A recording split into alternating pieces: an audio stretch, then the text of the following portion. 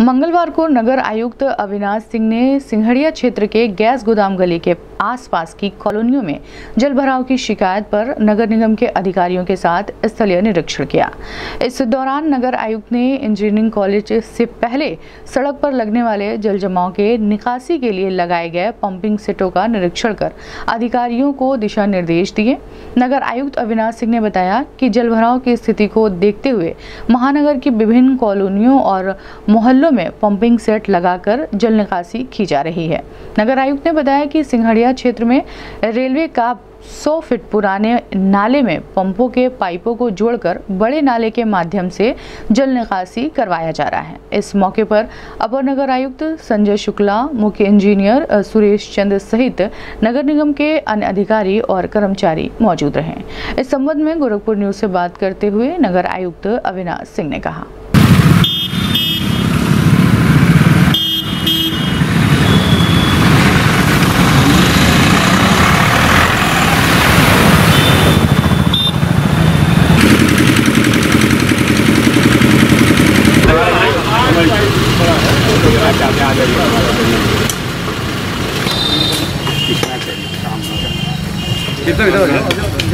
इसको इसको जो है ना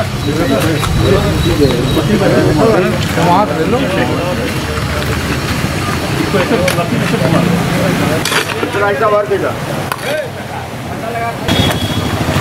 ले मोटरसाइकिल निकलने में साइलेंसर में पानी जा रहा था जी जी जी मोटरसाइकिल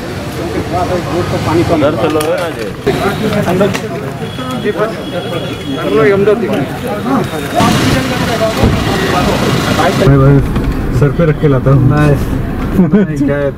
पहली बार को रात में कहाँ? शनिवार का कहाँ रुकोगी?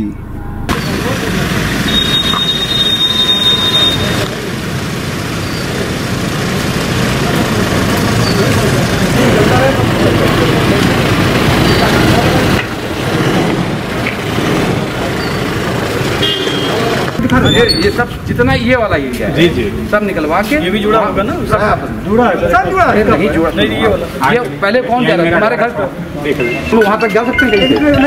कहीं से आप अगर और कोई रास्ता नहीं।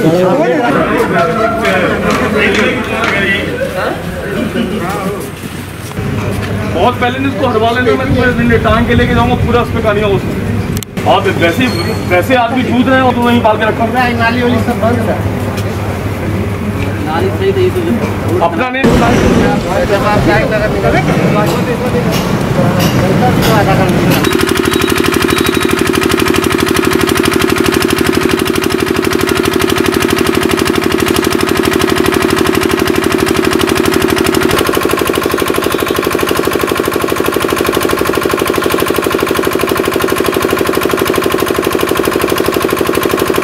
अभी हम लोग संगड़िया सिंगड़िया क्षेत्र में आए हुए हैं।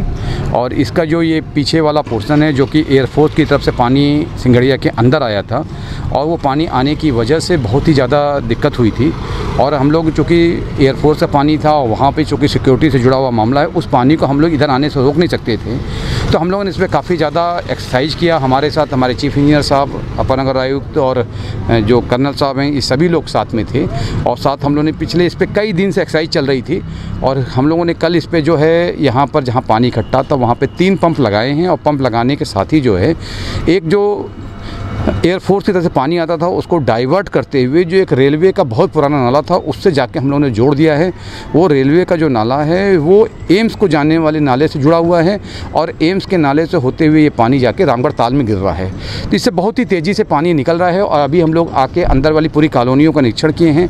वहाँ पर यह डिसाइड हुआ है कि हम तेरह एच का एक पंप और एक 19 एचपी का एक पंप तत्काल और लगा रहे हैं कि जिससे कि बहुत ही तेज़ी के साथ जितना भी पानी यहाँ इकट्ठा है, शाम तक पूरा पानी निकल जाए, क्योंकि पानी का निकास बहुत तेज़ हो रहा है। तो इसलिए अगर हम सारे पानी को डायरेक्शन दे देंगे तो पानी शाम तक उम्मीदों की निकल जाएगा। इसके साथ ही साथ हम लोग और भी जो अन्य क्षेत्र हैं, वहाँ का लगातार निरीक्षण कर रहे हैं। जहाँ ज़रूरत पड़ रही, वहाँ पंप लगाए जा रहे हैं। लेकिन चूँकि आप भी जानते हो कि जो रिकॉर्ड तोड़ बारिश हुई थी और जो जनपद गोरखपुर, शहर गोरखपुर की जो भौगोलिक परिस्थिति है, उसको ध्यान में रखते हुए कई जगह और चूँकि एक अनडेवलप कह लीजिए कि अनप्लान्ड वे में जो डेवलपमेंट हुआ है, जो बहुत सी नई नई कॉलोनियाँ बन गई, जैसे नकाहा क्षेत्र में रेलवे लाइन नहीं बन गई तो जो पहले पानी वहाँ इकट्ठा था, उस पानी को जगह नहीं मिल पा रहा है।